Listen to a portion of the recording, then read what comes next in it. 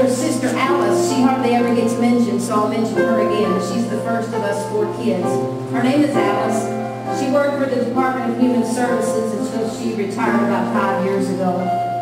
She was a go-getter. I mean, she just about raised us kids when Mama was working in the summer.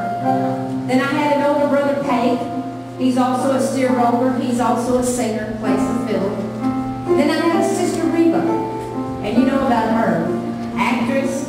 on Broadway. She's done all kinds of things. She's the sweetest thing in the world. And so there I was, the fourth of all of those overachievers. Shoot, I sucked my thumb till I was in the third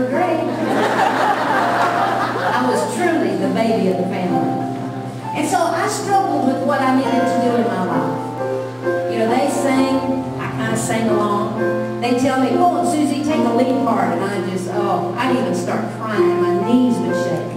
I didn't want to do that. But finally I went to, I went, got through high school, went to Oklahoma State University, studied accounting, something I never really had used.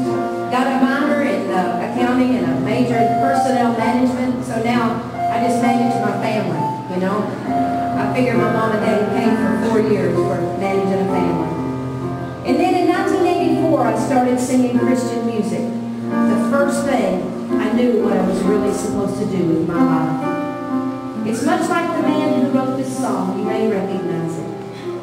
At a very young age, he was instructed by his father to be a lawyer. He went to law school. He took the bar exam. But when he was taking that bar exam, he had a mental breakdown. They put him in an insane asylum for eight months.